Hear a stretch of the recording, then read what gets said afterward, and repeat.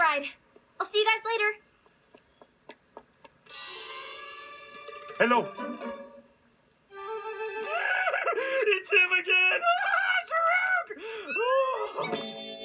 Ah, what on earth are you doing here? I needed to get away. I am tired of being famous and passed over. At least everyone appreciates your mega talent. But at what price? I cannot make you understand. But if you think it's so great, you should just try being me for a while. Yeah, quit hogging him, Sunil. We want to hear all about his fabulous life. I will try being you for a while, and I bet it will be great.